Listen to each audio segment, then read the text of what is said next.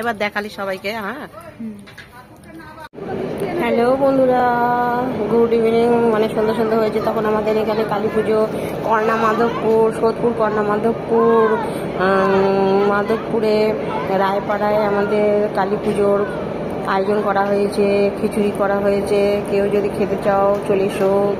তো সবাই একটুখানি সব করে দাও। করছে কীরকম মুড়ি মেখে খাওয়া হয়েছে দেখো। হাই সবাই মিলে বলো হাই। তুমি করো। গামলা করে ধরে সবজি কাটার পর সবজি টবজি সব কে কেটে দিয়েছি? আলুর দমের আলু কাটা হয়ে গেছে তারপরে সবজি টবজি কাটার পরে সব জিনিস কেনা কাটির পরে কিছু পয়সা বেঁচেছিল সেই পয়সা দিয়ে আমরা আজকে মুড়ি মাখা খাচ্ছি। তো দেখো সবাইকে ঠোঙায় ঠোঙায় দেওয়া হয়ে গেছে আর যেটুকু আছে মুড়ি গামলার মধ্যে আমরা সব বউরা মিলে বসে বসে খাচ্ছি। এক মুখ মুড়ি নিয়ে এরকম করে মুড়ি